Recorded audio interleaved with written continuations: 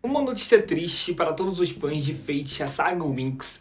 A Netflix decidiu cancelar essa nossa série sem ao menos entregar um encerramento digno, gente. Isso era algo que já esperávamos e temíamos, e acabou acontecendo.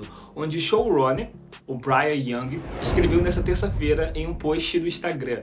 Ele escreveu isso aqui. Isso é realmente difícil porque eu sei o quanto vocês amaram essa temporada.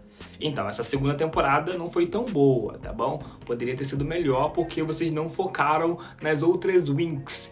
Você não focou muito nas outras Winx. Mas tá tudo bem, mas tá tudo bem. Ele continuou o post agradecendo toda a equipe, dizendo que foram quatro anos incríveis, onde ele, quem sabe, aí no futuro algo novo possa surgir quem sabe no futuro algo novo possa surgir aí para ele, um novo projeto. É, galera, a série acabou, ficando aí incompleta, onde a segunda temporada terminou com uma série de revelações e mudanças para Bloom, onde ela finalmente encontrou sua mãe biológica e queríamos ver toda aquele desfecho queríamos. Porém, infelizmente isso não irá acontecer. Talvez a audiência dessa última temporada não tenha sido tão boa, tendo em vista que muitas pessoas falaram muito mal dessa segunda temporada, onde isso acabou prejudicando a performance da série. É, infelizmente. Confesso que eu não gostei nem um pouco dessa notícia. Eu queria ver o retorno da Beatrix aí dos mortos e quem sabe de suas irmãs.